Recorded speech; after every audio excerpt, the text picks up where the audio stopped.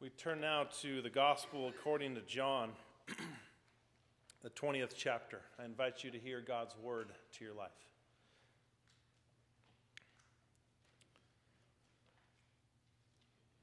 When it was evening on that day, the first day of the week, and the doors of the house where the disciples had met were locked for fear of the Jews, Jesus came and stood among them and said, Peace be with you.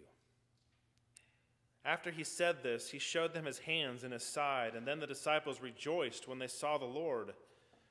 And Jesus said to them again, Peace be with you. As the Father has sent me, so I send you. When he had said this, he breathed on them and said to them, Receive the Holy Spirit. If you forgive the sins of any, they are forgiven them. If you retain the sins of any, they are retained. But Thomas, who was called the twin, one of the twelve, was not with them when Jesus came. So the other disciples told him, We have seen the Lord. But he said to them, Unless I see the mark of the nails in his hands, and put my finger in the mark of the nails, and my hand in his side, I will not believe.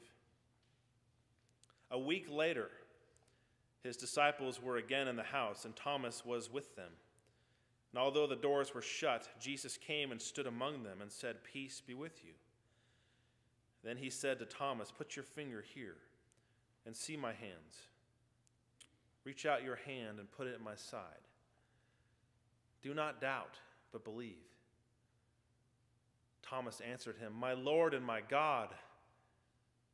Jesus said to Thomas, Have you believed because you have seen me?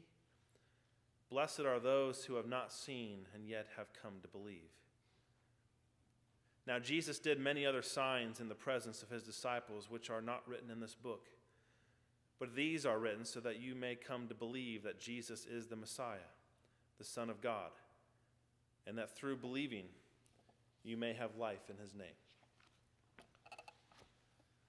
The word of the Lord.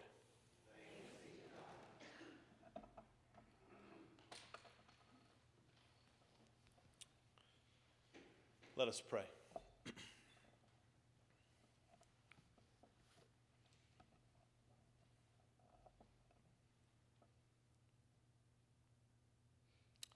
Holy God, help us to experience your peace in this place. And when we leave this place this morning, help us to experience your peace in every part of our lives as we look to you to be the Lord of our lives. Christ's name we pray. Amen. After Easter Sunday, expectations may return to something like business as usual, but nothing could be further from the truth.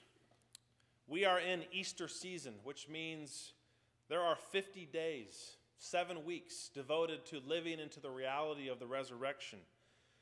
And a long standing tradition in the church is to look at the disciple named Thomas on one of the Sundays following Easter. A story that shows us that it's not very easy to live into the reality of Easter. You know Thomas's nickname Doubting Thomas, Doubter. Personally, I think this nickname is somewhat ridiculous, and I will tell you why. Because Every time we put labels on people, it paints a somewhat incomplete picture. It doesn't tell the whole story of who they are. Now, we don't know a whole lot about Thomas on the pages of the New Testament, and here he confesses this one doubt, and then we label him Doubting Thomas.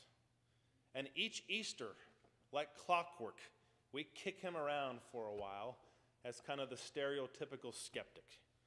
Some of us may even shake our heads at Thomas as though doubt were the opposite of faith. Let's get something out of the way before we move on. We all have doubts. Every day of our lives are filled with doubts. Every day. We doubt ourselves and we doubt the people and the world around us. We doubt if we'll wake up in the morning. We doubt if we'll be able to get out of bed. We doubt our bodies. We doubt our minds. We doubt our spouses. We doubt our children. We doubt our pastors. We doubt our neighbors. We doubt our bosses. We doubt our bosses if they think that we're, that we're doing a good job. We doubt if we're the right person for the job. We doubt if the work we do makes any difference. We doubt the president. We doubt politicians, especially if they're on the other side. We doubt if people will come through for us. We doubt if we'll ever be as good as that person. We doubt if we'll pass the class. We doubt if we'll be able to lose those 10 pounds. We doubt if the pants or the dress will ever fit again.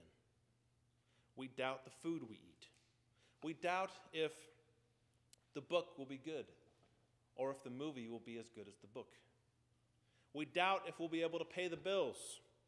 We doubt if we'll, if we'll get any kind of tax refund this year or if we'll have to pay more to the government. We doubt if anyone notices us. We doubt whether we'll meet people's expectations. We doubt if the relationship will work. We doubt what the future will look like. We doubt if we'll be able to make it to the gym this week. We doubt if we'll, if we'll be able to ski down that double black diamond in one piece and live to tell about it. We doubt if our teams are going to win. We doubt if we're going to get what we really need. My goodness, we doubt. If you don't doubt, you're simply not human. And I haven't even mentioned anything related to our faith that we doubt. I love what Frederick Buechner says about doubt. A God who leaves no room for doubt leaves no room for me. He also says, whether your faith is that there is a God or that there is not a God, if you don't have any doubts, you are either kidding yourself or asleep. Doubts are the ants in the pants of faith, they keep it awake and moving. So, can we please give Thomas a break? I'm inclined to believe that most of us actually find a real sense of validation in Thomas. I don't believe John is trying to make an example of Thomas here by painting him to be either faithless or a step behind the other disciples. John seems to be painting a picture of resurrection faith. It can be critical, it can be messy, it can require work and effort. And more importantly, this story shows us how Jesus meets us in the midst of all of that. I believe doubts kind of go with the turf of believing. They can cause us to be reflective about our faith, to examine our faith. They can propel us, which is a major mark of our tradition and denomination, to use our brains, to think for ourselves. We also know that doubt can crowd out hope. It can move us to that edge of faith that has forgotten how to believe. Of all the characters Jesus meets in the post resurrection world, none perhaps has left a stronger mark than Thomas. He may be the skeptic that hides inside every believer, the questioner in us that, that resists easy answers to hard questions of faith, who always wants to know a little more, who always needs a little more proof. I like people who see things for what they are and say it how it is. People who don't speak with any hidden layers or require any kind of interpretation. There's something called, you may have heard of it, but there's something called Southern Speak, which I was surrounded with for several years living in the South. Now, Southern Speak, I came to soon realize, is pretty much the opposite of being blunt. A common Southern speak phrase is, bless her heart, or bless his heart. And I realized that this phrase was often, usually, a preface used before someone launched into speaking ill of another person. now, it, is, it was done, it is done, of course, in a somewhat tactful way. I'll be honest and say I don't really understand or like Southern speak. I like to hear it how it is. I like to say it how it is. I don't want to go through the hard work of translation. And I think this is why my appreciation for Thomas continues to grow. Thomas called a spade a spade. He said it like he saw it. If he couldn't understand or believe something, he was direct with his, with his, with his questions and comments. In the first three Gospels, we are told nothing about Thomas. It is in the Gospel of John that he emerges as a distinct personality, a personality that's kind of an all or nothing. He tells it like it is, and he sees things for what they are. You remember the story when Lazarus was terribly ill and then died. Jesus had delayed coming to Bethany on the outskirts of Jerusalem. And at that moment, all the disciples might have well refused to follow Jesus because they were all feeling that to go back to Jerusalem was to be going back to their death. So they were hanging back. And just then, Thomas, Thomas, offered an earnest proposal that revealed a very important aspect of his character. Thomas said to his fellow disciples, Let us also go, that we may die with him. Thomas said that. Doubting Thomas said that. Another glimpse of Thomas is at the Lord's Supper. Everyone's stomach was churning, upset by the sour words Jesus doled out to them for them to digest. Words like, One of you will betray me. Where I go, you cannot come. I go to prepare a place for you. Only Thomas had the courage to acknowledge that he didn't understand and ask the question Lord, we do not know where you are going, so how can we know the way? Jesus replied, I am the way and the truth and the life. How about honest Thomas instead of doubting Thomas?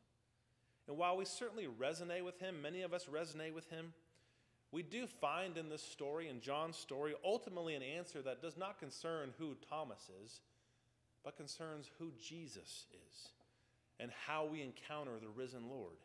It's a story about God coming to us wherever we might be, and then not letting us stay there. Up until this story, faith comes in the face of Jesus' physical presence. And here in the word to Thomas, Jesus sets it up for the experience of God to not be based solely on sight. Decades after these words were written, the last disciple died, and never again on earth would physical eyes or noses or tongues certify the presence of Jesus. The one direct call for verification in this text came through hearing. Thomas gets to be the one to whom it is announced first that from now on, hearing would be the way. Notice something with me. Jesus spoke an invitation to touch and see, but we are not told whether Thomas ever did touch. Jesus challenges and invites Thomas to, to not doubt, but believe. And instead of examining wounds, Thomas responds with one of the strongest greatest confessions recorded in the entire New Testament My Lord and my God. The one absolutely unequivocal statement in the whole gospel came from a doubter. It's also worth noting that one week after the disciples had been visited by the risen Christ and received his Holy Spirit, they have once again put themselves behind closed doors. Thomas is actually one step ahead of the other disciples. He only wants to receive what they have already received.